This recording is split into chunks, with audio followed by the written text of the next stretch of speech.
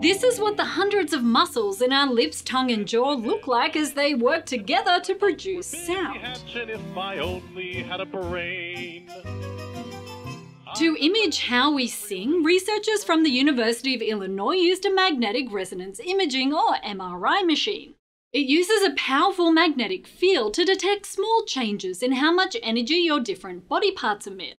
It's just one way science can see into your brain. Could be another Lincoln if I only had a brain. While MRI can look at your brain structure, fMRI, functional magnetic resonance imaging, can measure activity within your brain. It can detect which parts of your brain have an increased blood flow and are using more oxygen. The idea is those parts of your brain are more active.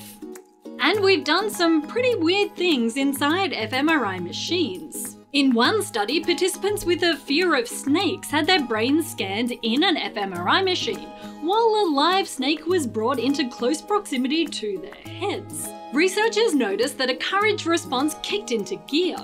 When the participants were being courageous, activity in their amygdala, a brain region associated with fear, decreased as their reported fear increased. Weird, right? Another study scanned people's brains in an fMRI, while they watched a tarantula being placed at varying distances next to their foot. But what they were actually watching was a pre-taped video and the spider wasn't in the machine with them. Still, different fear networks in the participant's brain were active depending on how close they thought the spider was. And a certain brain area was more active when the spider was creeping towards their foot rather than away from it. On a happier note, another study asked rappers to freestyle rap inside an fMRI machine. The researchers saw that improvising lyrics activated many different areas of the brain, those associated with motivation, language emotion, and motor function. The rappers entered a flow state where you're completely immersed in the activity. It may happen to you when you read a good book or go skiing. And if those experiments aren't weird enough, in 2009 a researcher did a psychological study with a dead salmon in an fMRI machine. The salmon were shown photos of people and asked to determine what emotions they were experiencing. And when they analysed the data, researchers saw activity in the salmon's brain.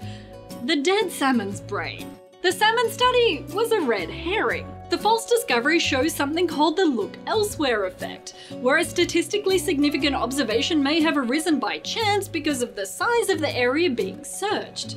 Researchers can correct for this. The salmon researchers could have too. But their point was that sometimes statistical analyses aren't always as rigorous as they should be. But other than that dead salmon, we've used fMRI to learn some pretty cool things about your brain. It's a pretty swimming place. And if you don't already, subscribe to Braincraft for more brainy videos. And occasionally terrible jokes. I'm Trouter here.